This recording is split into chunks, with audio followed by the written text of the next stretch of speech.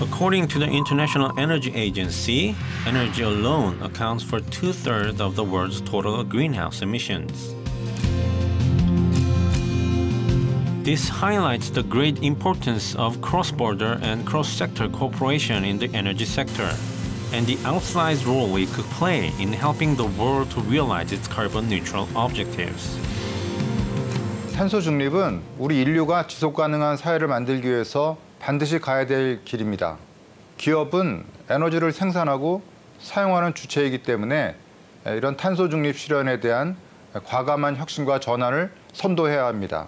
이번 피포지 정상회의를 통해서 에너지 기업의 혁신과 지속 가능한 성장을 위한 정책 방향, 포용적 녹색 성장을 위한 글로벌 협력 등에 대해서 심층적인 논의가 이루어지길 기대하고 있습니다.